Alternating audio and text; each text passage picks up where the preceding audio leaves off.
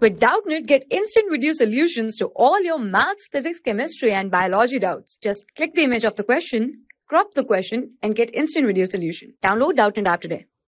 Hello everyone. Today we have question. A proton is accelerated from rest through a potential of 500 volts. Its final kinetic energy is. So first we know that. First we know that the kinetic energy always will be equal to work done. By energy conservation the kinetic energy will be equal to work done. Also in the electric uh, field concept we know that uh, the work done to bring a charge from infinite to any point is given by w equal to voltage into charge. Here q is charge. So what is our q here?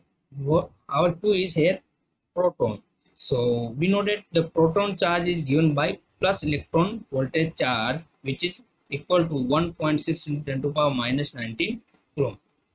So also we have voltage. So our work done will be voltage is 500 volts and we have charge elect proton charge is plus electron charge. So it will be 500 electron volt.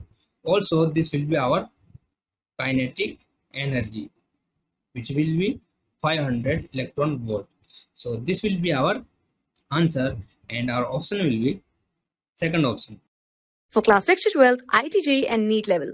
Trusted by more than 5 crore students. Download Doubtnut app today.